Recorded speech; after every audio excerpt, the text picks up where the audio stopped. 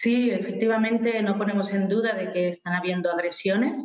Lo que sí ponemos en duda es si estas agresiones eh, llevan sustancias vehiculadas porque para poder eh, suministrar sustancias y que te hagan un efecto, necesitas un tiempo de inyección relativamente largo, como unos 20 segundos. Y en espacio de ocio, que bueno, la gente se está moviendo, hay poca luz, también para inyectar este tipo de sustancias necesitas cierta pericia.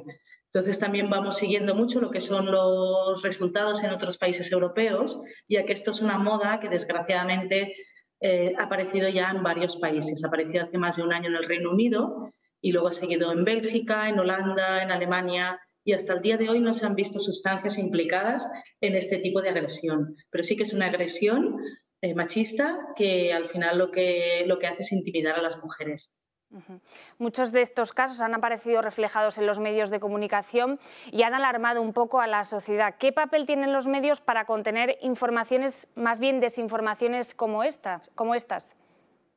Sí, efectivamente hemos lanzado hoy una nota de prensa en Energy Control para hacer una llamada a la calma, porque al final nos estamos fijando en casos muy esporádicos que están pasando y si ponemos el foco aquí, nos olvidamos de las cosas que sí que realmente eh, son más abundantes. Hay agresiones sexuales en el ocio nocturno y principalmente vienen de, de, ambientes conocidos y de gente que puedes conocer.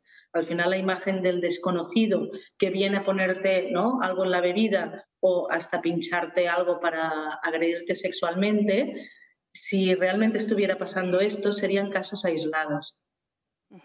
En el caso, por ejemplo, que es el único que de momento podría darse como confirmado, esa joven de Gijón eh, que notó eh, durante la noche un pinchazo y al día siguiente dio positivo en éxtasis. ¿Podríamos confirmar que este caso, eh, este pinchazo, si, si se produjo posteriormente esa inoculación de droga? el éxtasis no es una sustancia que se utilice en sumisión química. Por lo tanto, en este sentido, no podríamos decir que sea un caso de sumisión química. Luego, el éxtasis líquido, como habéis mencionado en, el resumen, no es lo mismo que el éxtasis. El éxtasis líquido es un depresor y esta sustancia sí que puede vulnerar tu voluntad y puede bajarte tu nivel de conciencia, pero no puede inyectarse. Entonces aquí no es una información que es un poco contradictoria. Bueno, entonces como resumen podemos decir efectivamente que se producen esos pinchazos, una moda eh, que usted califica como otro tipo de, violencia contra eh, la mujer en este caso, pero eh, que esas posibles inoculaciones de droga, como están denunciando muchas de las chicas, no se producen, no, no, cuadran perdón, con, estos casos que ellas han denunciado. ¿no? Ese podría ser un poco el resumen general. El resumen es que no creemos que este tipo de agresión sea sumisión química.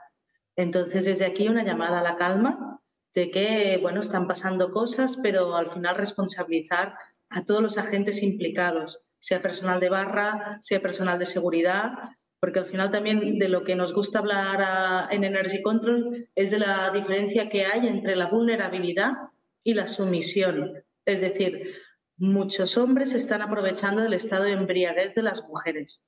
Entonces, esto sería la vulnerabilidad. Es decir, que, cuando tú vas bajo los efectos de una sustancia pueden agredir, agredirte. Y aquí es una responsabilidad grupal de la sociedad. Al final, si una mujer ha bebido más de la cuenta un día, que esto puede pasar, pues nos cuidamos entre todas y nos aseguramos que esta mujer no se quede sola, no se vaya sola a casa, y también el personal de barras, si ven a, un hombre que se está sobrepasando con alguien, llamar la atención. Al final no es necesario esperar el pinchazo para que haya la agresión.